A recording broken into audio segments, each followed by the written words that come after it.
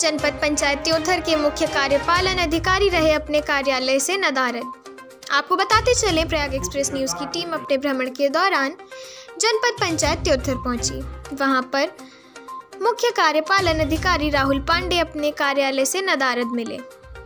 Block coordinator doctor R के शुक्ला द्वारा क्या बताया गया आप इस वीडियो के माध्यम से सुन सकते हैं। वहीं पर मल्हार गाँव, संजीव गौतम द्वारा क्या बताया गया, आप इस वीडियो के माध्यम से सुन सकते हैं। संजीव गौतम द्वारा स्पष्ट रूप से बताया गया कि मलपार ग्राम पंचायत को ओडीएफ को घोषित कर दिया गया है। किंतु शौचालयों का निर्माण नहीं कराया गया। पैसों का बंदर बाट हुआ।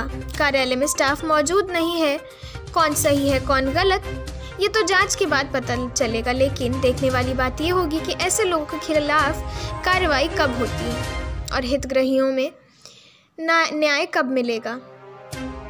भ्रष्टाचार का बोलबाला कब बंद होगा? प्रयाग एक्सप्रेस न्यूज़ से जिला रिपोर्टर धनेन्द्र तिवारी, कमलेश शुक्ला के साथ दिनेश द्विवेदी की रिपोर्ट। उनसे जानना चाहा कि किसी एक गाँव का नाम बताएँ जहाँ पर खुले में शौच जाने से मना कर दिया गया हो और लोग स्वच्छता कार्यक्रम का अनुपालन कर रहे हो, लेकिन उनके जो वक्तव्यों से लग रहा है वो ये नहीं बताने का साहस कर पाए हैं कि कौन सा मेरा गाँव एकदम पूर्ण ओडीएफ है। अभी वही बात सामने निकल करके आई है कि मेरे सामने ग्रामीण अंचल से आए हुए जो मलबार गाँव है, उनकी वहाँ की यथास्थिति की लोगों के बारे में बता सर, आपका गाँव ओडीएफ हो चुका है?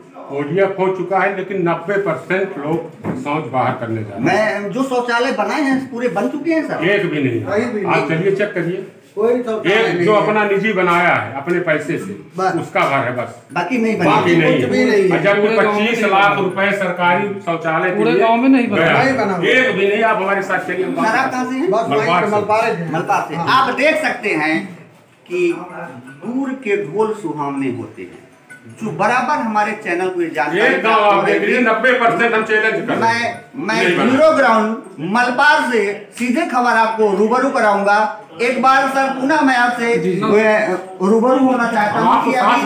यहीं पर क्योंकि सर आप कोऑर्डिनेटर हैं हेड हैं उसके देखिए हाँ, मैं आपको। स्वच्छ भारत मिशन का फ़ेज़ टू इस समय चल रहा है ये 2025 तक जो द्वितीय चरण है इसके तहत चूँकि भारत सरकार द्वारा दो क्या नाम है?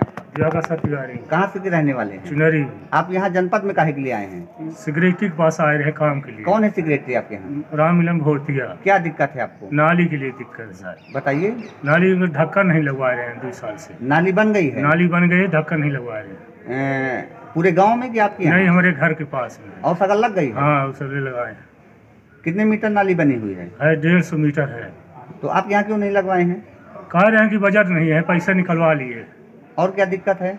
और दिक्कत है कि हम आवास वाले में लिस्ट मांगते हैं तो नहीं दे रहे हैं। कितने लोगों को आवास मिला है आपके यहाँ? हमारे यहाँ मिल चुका है सौ डेढ़ सौ आदमी को मिल नहीं है। मतलब क्या लिस्ट मांगना चाह रहे हैं उनसे आप? हम दो हज़ार उन्नीस वाली लिस्ट मांग रहे हैं आवास वाली।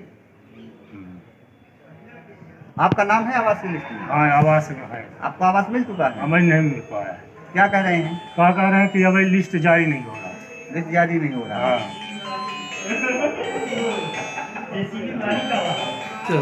आप देख सकते हैं कि चुनरी ग्राम पंचायत से ये जो है तिवारी जी आए हुए हैं और इनकी शिकायत ये है कि मेरे गाँव के सामने मेरे घर के सामने नाली तो बना दी गई है लेकिन उसको ढका नहीं गया है। कभी भी कोई हादसा हो सकता है और ये जनपद का चक्कर लगा रहे हैं और वर्ष 2019 की आवास की सूची सिक्योरिटी से जानना चाह रहे हैं लेकिन वो बताना नहीं चाह रहे हैं आखिर वजह क्या है क्यों नहीं बता पा रहे हैं? और नाली क्यों नहीं ढकी जा रही है? कह रहे हैं कि बजट का अभाव हो गया है बजट पूरा हो चुका है।